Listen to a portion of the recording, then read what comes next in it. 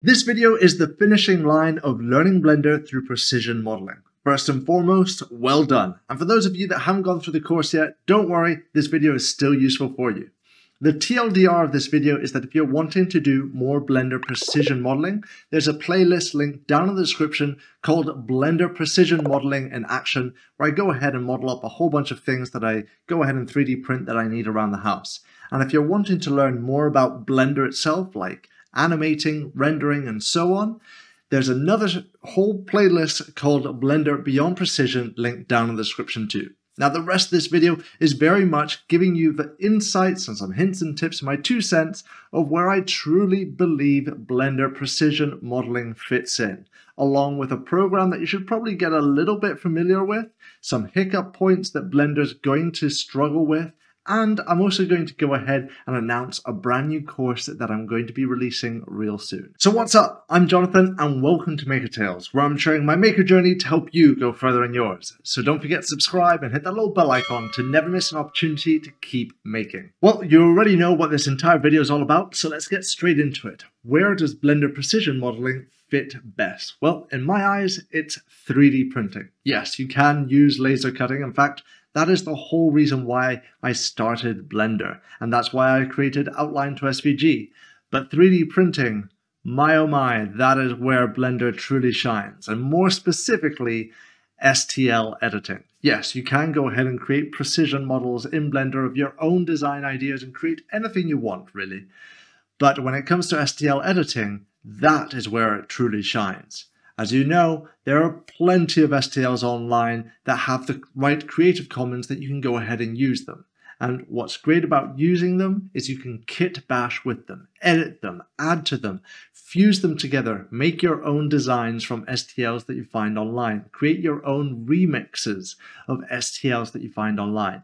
This can be done in other parametric CAD programs, but put frankly, they are a worse version of Blender when it comes to mesh editing because they're looking for data driven parameters and they can't really have that with mesh unless they remesh the entire thing within a parametric model. So that there is where Blender truly, truly shines. Now let's talk about where Blender doesn't shine. And that is bevels, fillets, chamfers, whatever you want to call them. I'm sure you've seen it. That's where Blender just doesn't want to work with us. Now, there are two fixes here. First one is I've gone ahead and asked a friend. He has a YouTube channel where he's doing a thing called Blender Clinic. And he's, I gave him this question, how would I go ahead and get this bevel to work? And he's showing you two things. One is the correct way of doing it, and also the other one is rescuing this bevel. Now, the way that I do it is, well, I use FreeCAD. Let, hold on for those of you that are just going, okay, well, you've just taught me Blender and now you're saying you use a different program. No, no.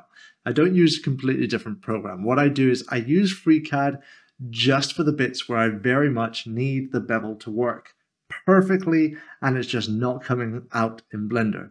So what I do is I model it within FreeCAD, I export that as an STL, and then I inject that mesh of the STL that I made from FreeCAD in Blender. So I then get all the powerhouse that is Blender and the perfect precision bevels and chamfers of FreeCAD, and there you have it. That's what I really do.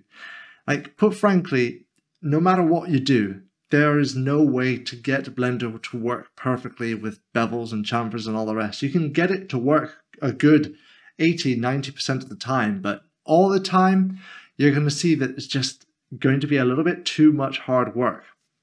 And this is because Blender was made for subdivision modeling or box modeling, whatever you want to call it. When you add that subdivision modifier, that is basically what Blender was made for, organic modeling. So, or some of you are telling me, well, what about hard surface modeling? I've seen people do that in Blender. Yes, but you're going to see that if you truly explore that world, people still have big problems with bevels, chamfers, and all the rest. In fact, that's why there's an entire add-on MESHmachine, but you have to pay for it and it still doesn't get everything perfect and it isn't perfectly precision driven either. So that's just something that I want to put out there. Now, let's talk about this announcement. This announcement is basically that I'm creating a course. Not just any course, a course for 3D print design, how to turn you into a 3D print designer to be able to tackle any type of model out there. And yes, we are going to be using FreeCAD in it. And yes, we will be using Blender in it as well.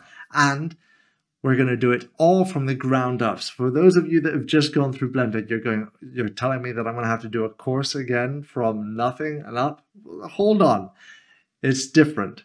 We're going to be approaching this from project to project. We're going to start from as simple as a pencil pot and go as complicated as complicated can get with 3D printing. And we're going to be creating files all the way. It might be as many as 50 different projects in this course.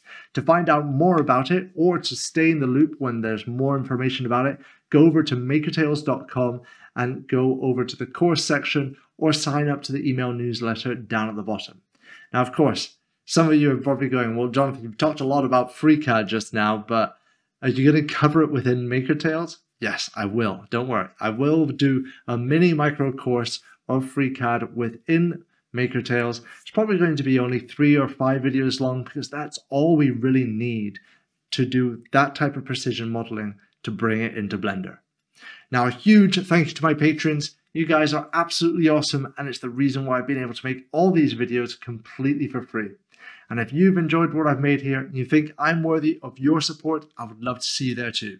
Don't forget that we have a Discord, and that's linked down in the description. And I'd love to see what you've learned and what you've created. Thank you for watching, keep making, and let the quest continue.